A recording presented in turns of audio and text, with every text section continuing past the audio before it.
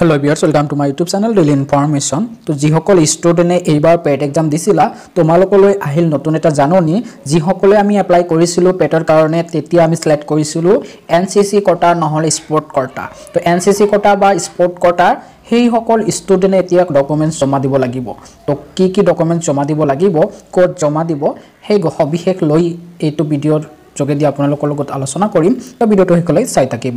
তো ইয়াতে চাওক নটিচ এখন আহিছে ইয়াতে লিখাই আছে এডুকেশ্যনেল নটিচ ইয়াতে লিখিছে it is for information to all concern that the candidate who have already applied online PET two thousand twenty counselling from against N C C and sport quota have to submit their documents documents যিসকলে N C C quota আৰু sport কোটাত apply কৰিছিলে পেটত কেতিয়া দিব লাগিব? Third to fifth third to tenth November তিনি October অৰ্থাৎ আজিৰ পৰা দহ তাৰিখৰ ভিতৰত নৱেম্বৰৰ ভিতৰত তিনি নৱেম্বৰৰ পৰা দহ নৱেম্বৰৰ ভিতৰত জমা দিব লাগিব।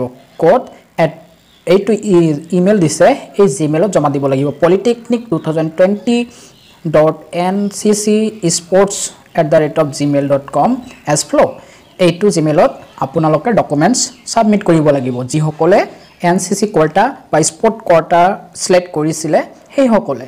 তো এন চি চি কোৱাৰ্টা বা স্পৰ্ট কোৱাৰ্টাৰ ডকুমেণ্টছ দিব লাগিব এন চি চি চাৰ্টিফিকেট বা আমাৰ স্পৰ্ট কোৱাৰ্টাৰ চাৰ্টিফিকেটটো কি লাগিব? সেইখিনি ডকুমেণ্টছৰ কথাও কৈছে।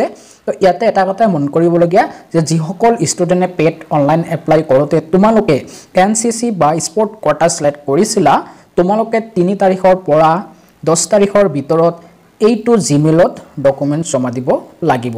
For sport quota sport quota যিসকলে ছিলেক্ট কৰিছিলা বা স্পৰ্ট কোৱাৰ্টাৰ ভিতৰত ভিতৰত তোমালোকে পৰা স্কেণ্ড কপি ইয়াতে কৈছে scan copies of all documents along with copy of certificate from the director of sport Assam তোমালোকে দিব লাগিব কি কি?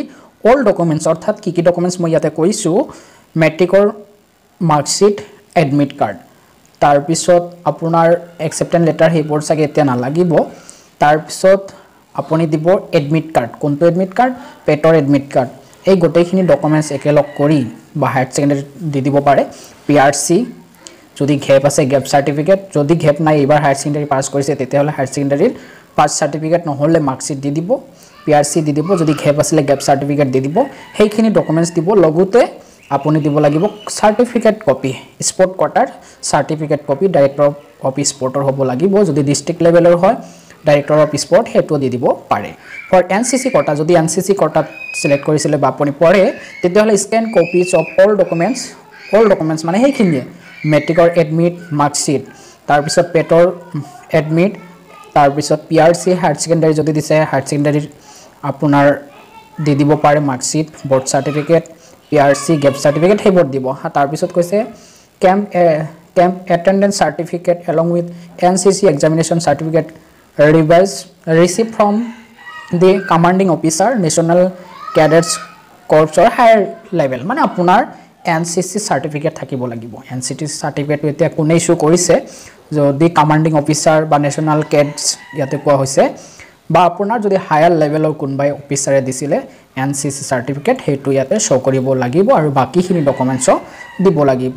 তো এইখিনি আপোনালোকে দিয়ক যদি আকৌ কৈছোঁ যদি আকৌ কাষ্ট আছিলে main caste O' B C আছে সেই কাষ্ট চাৰ্টিফিকেটো দিব পাৰে কাৰণ এইটো এডিশ্যনেল কাষ্টহে হয় এন চি চি বা স্পৰ্ট তো বাকীখিনি ডকুমেণ্টছৰ লগত এইখিনি এইটো ইমেইলত আপোনালোকে দহ তাৰিখৰ আগত পঠাই দিয়ক।